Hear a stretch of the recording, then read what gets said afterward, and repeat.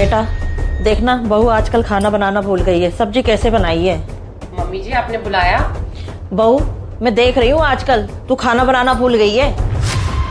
Mummy जी ऐसी तो कोई बात नहीं है। जैसे मैं पहले सब्ज़ियाँ बनाती थी वैसी ही तो मैं अब बनाती हूँ। अरे बहू अब तू रहने दे। अब तेरे हाथ की सब्ज़ी ना अच्छी नहीं बनती है। स्वाद ही चला गया सब्ज़ी का। अब मैं अपने हाथ से बना लिया करूँगी। ठीक है मम्मी जी अब आप कह रहे हो तो आप ही बना लिया करो सब्ज़ी।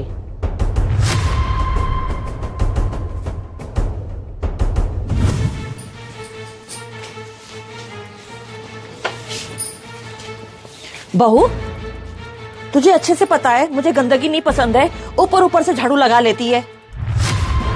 मम्मी जी मैं क्या करूँ? मुझसे ना अब ज़्यादा झुककर झाड़ू लगाई नहीं जाती है।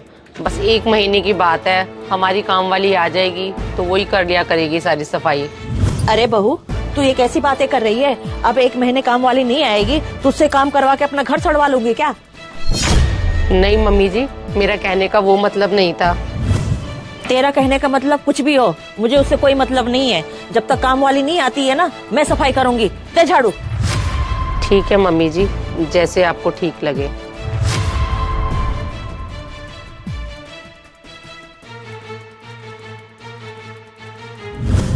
अरे क्या बताऊँ मम्मी? मेरी सास के तो नखरी खत्म नहीं होते हैं। खाना बना के देती हूँ तो कहती है तू स्वाद खाना नहीं बनाती है। अब तेरे हाथों में से स्वाद चला गया है। अब मेरी काम वाली एक महीने के लिए छुट्टी पे चली गई है। तो झाड़ू लगाती हूँ तो हाथ में से झाड़ू छीन लेती है। कहती तू साफ़ सफ़ाई नहीं करती है। क्या करूँ मम्मी?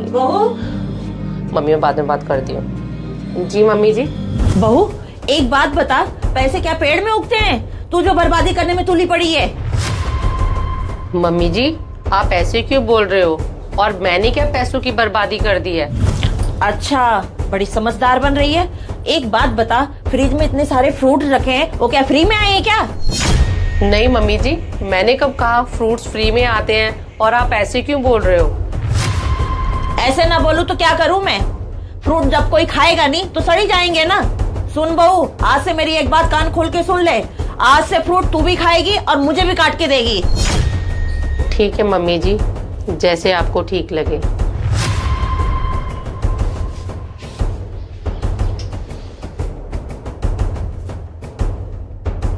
बेटा ये देखना राम मंदिर कितना सुंदर बना हुआ है। सबने फ़ोटो डाली है। मम्मी जी?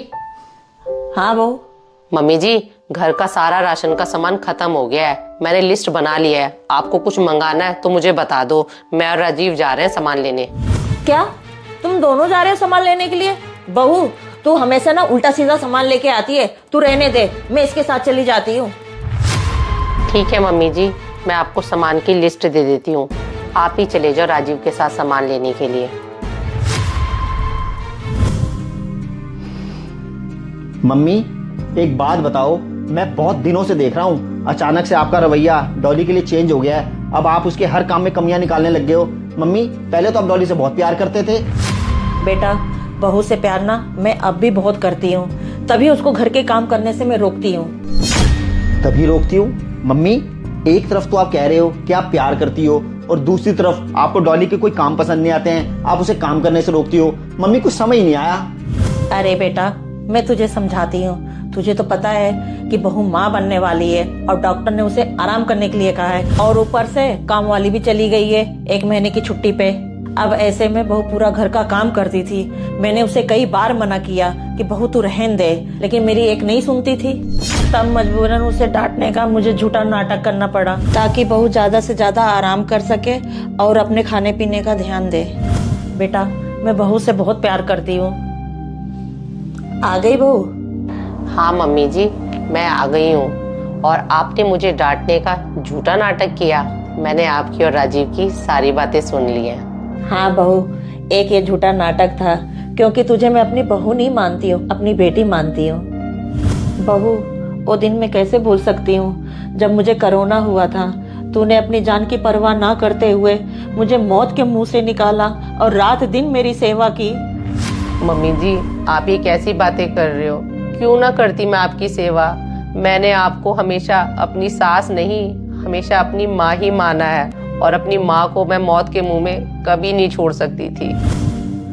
मैंने कोई अच्छे कर्म ज़रूर किए होंगे जो तू जैसी मुझे बहू मिली। जब से तू इस घर में आई है इस घर में रौनक ही रौनक हो गई है।